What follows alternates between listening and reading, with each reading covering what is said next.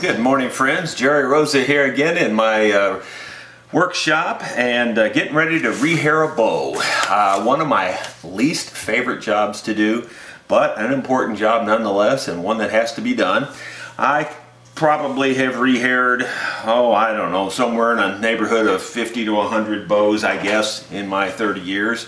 So I'm not an expert. I uh, done it enough to know what I'm doing, but I don't consider this to be my, my forte, I guess. Uh, I do the best I can, and I've learned over the years how to do it.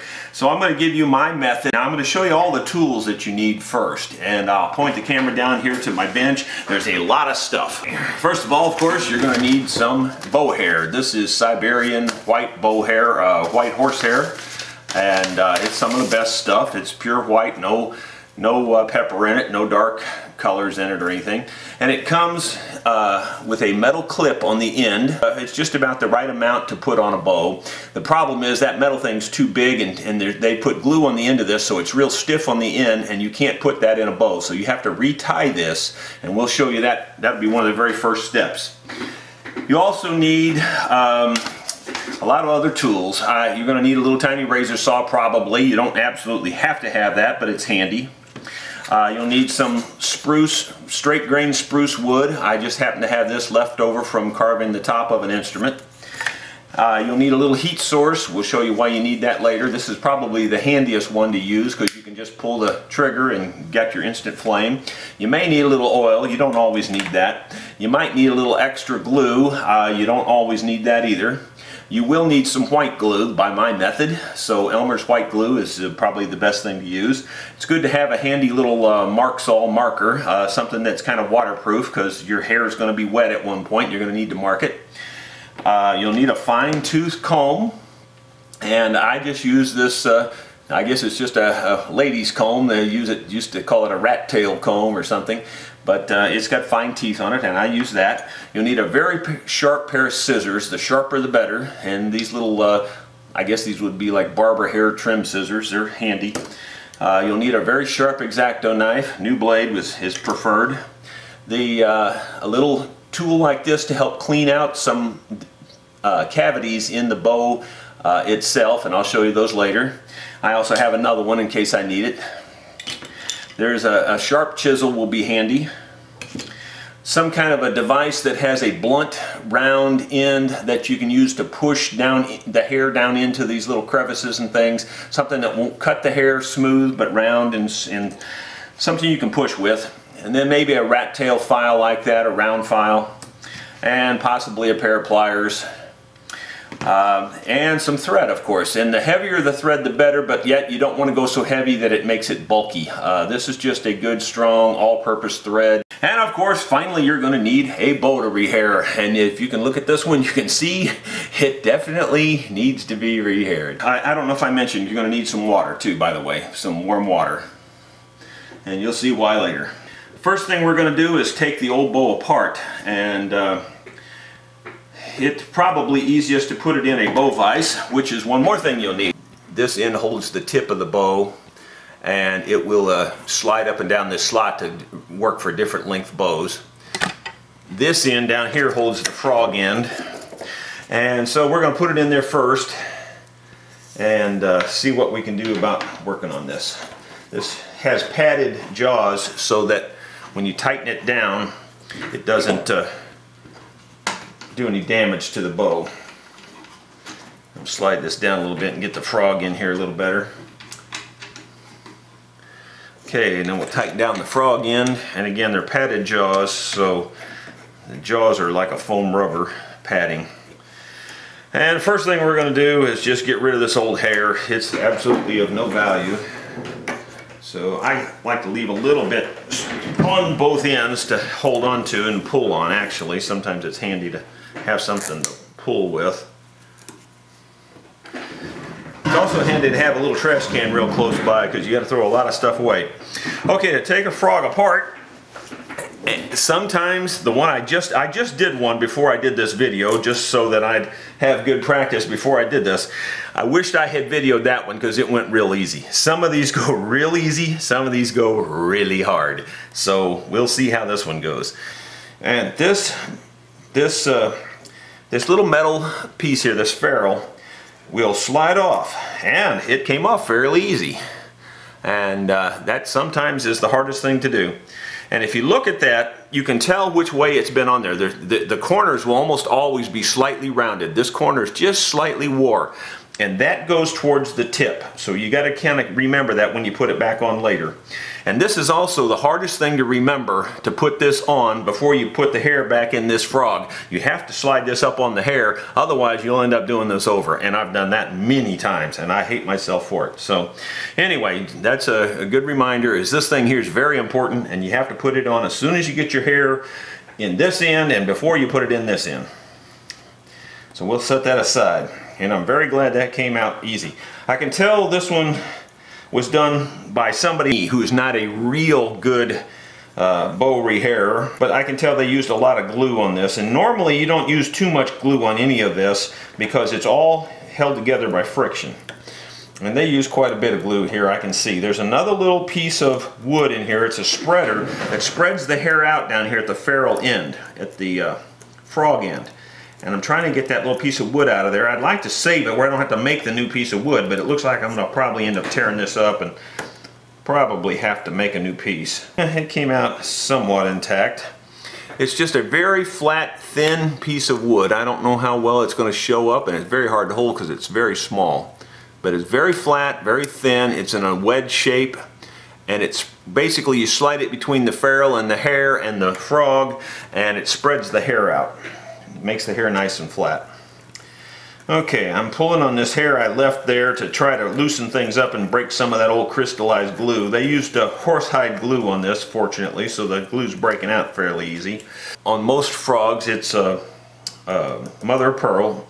That will slide, there's, it will slide out of, these are slots on both sides of this, and that's in the slots, and hopefully if it's not too glued in there, which I'm afraid it will be, and I'm cutting the glue out, out of front of this, this one looks like it's going to be tough, I have a feeling. Because I can see the glue. A lot of glue. Anyway, I'm trying to cut all that glue loose here. And get the slots opened up in front of it.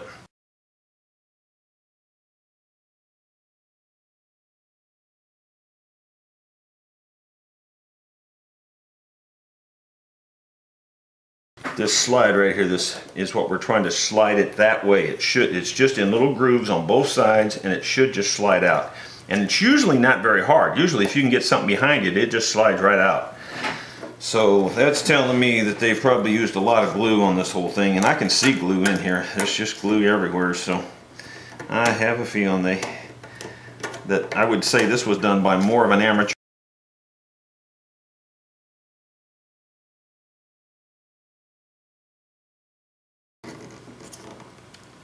Oh, there it moved. It just moved. Just finally.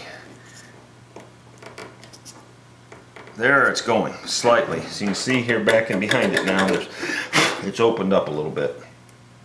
There, it's moving a little bit more. Ooh, that hurt a little bit. Well, it came unglued from the wooden piece. I hate that when that happens too. The wood is the slide. That's what the slot is cut to. And then this piece is glued on top of it. So right now I'm going to re-glue that so that it has time to set up. I'm going to scrape off the old glue first. Move this back here where you can see a little bit of what I'm doing. I'm just going to take this chiseled blade, scrape the old glue off first.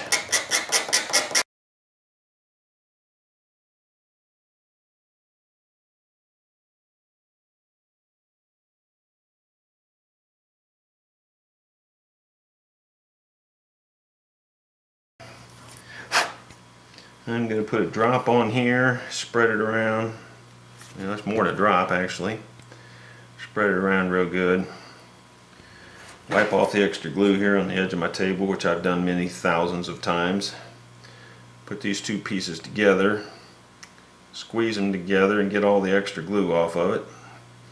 Center it in the center it on there as best I can, put it back exactly where it was so it doesn't interfere, interfere with the sliding part of this.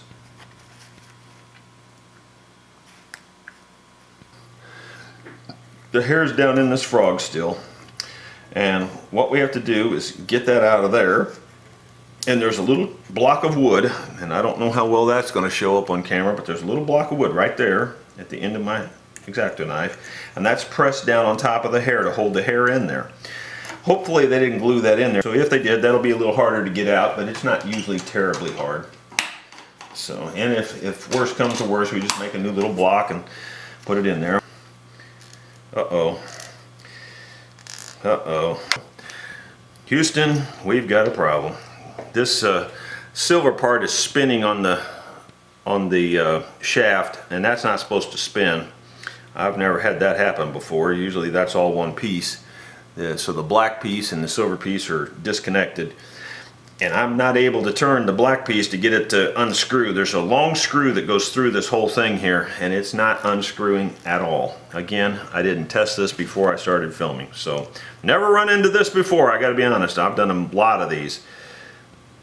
So I'm gonna try to loosen it up with pliers here. There's another reason why you might need pliers. Seems to be coming. I'm working it slowly so I don't just twist it in two or something. Seemed like it worked. I think maybe I got lucky there. Hopefully it's got it's just so old and so rusted. You can see the rust on this. I mean, it's just really rusted. And it just hadn't been turned in a long, long time. Okay, and so the inside of the frog or the underside of the frog looks like that. That's the little thing, and we were screwed into that is what we were doing on the inside of the bow, on the inside of the bow shaft. So that's what we're unscrewing there. So we got that unscrewed, and this is why you need the oil. And I'll put a little drop of oil on this to just let it be soaking on the threads there. and I'll put a little uh, oil on the threads themselves. Actually, before I put the oil on the threads, here's another little thing you could use is a little wire brush. See how many tools? It takes a lot of tools to do a bow.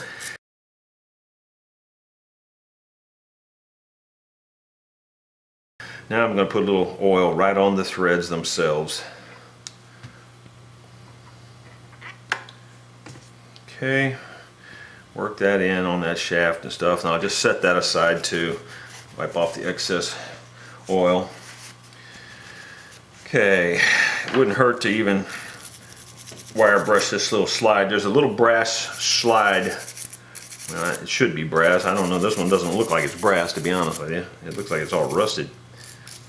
Anyway there's there's a little slide here that slides on top of the because it's so corroded I'm gonna I'm taking the wire brush and cleaning it up too just to that'll make it slide better when we put it back together later.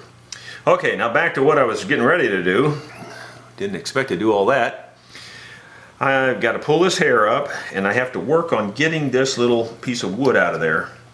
Again this little tiny chisel works good for getting in here and oh I think we're going to be lucky. This doesn't look like it's glued at all which is very good.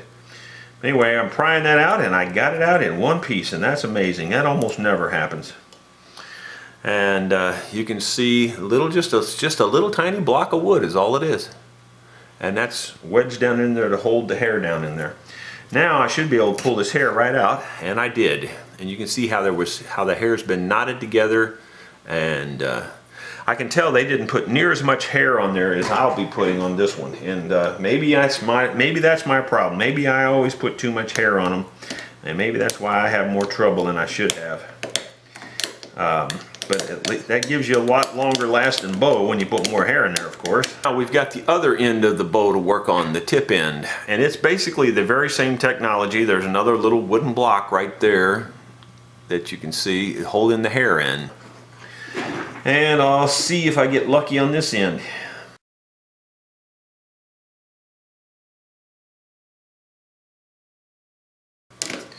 Okay, I got it out. It, it actually came out fairly good, but it I still broke it into a lot of pieces. And you can see that in there had a knot on it too.